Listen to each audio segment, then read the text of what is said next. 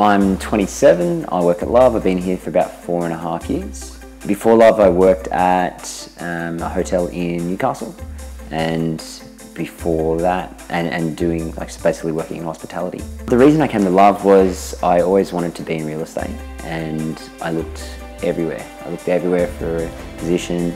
Um, probably now knowing what I now know I didn't really look everywhere but I thought I did at the time.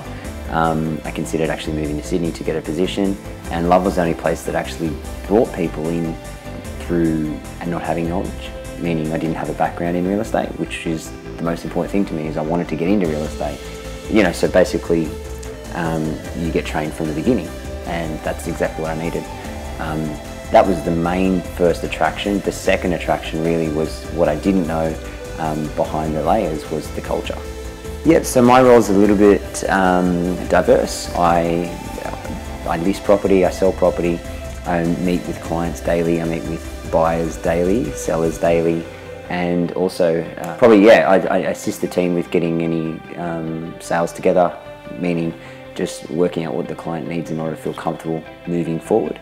Um, just through experience, probably just understanding that everybody's got a different need that they need to have it met. It's probably definitely opened up my eyes to what's possible um, and also definitely changed my outlook on everything.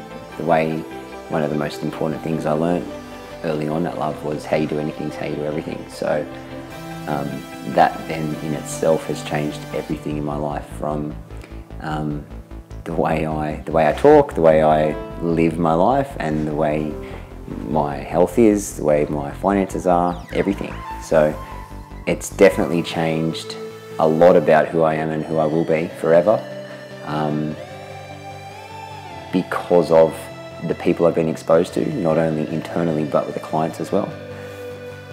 You know, your leadership conferences, your um, personal development conferences like Anthony Robbins, um, sales training like um, courses, Woodward courses, uh, Michael Keys courses, um, you know, Simon Sinek course, Anthony Robbins, or, you know, the, all of that exposure wouldn't have happened if I hadn't have came here on the day I came here.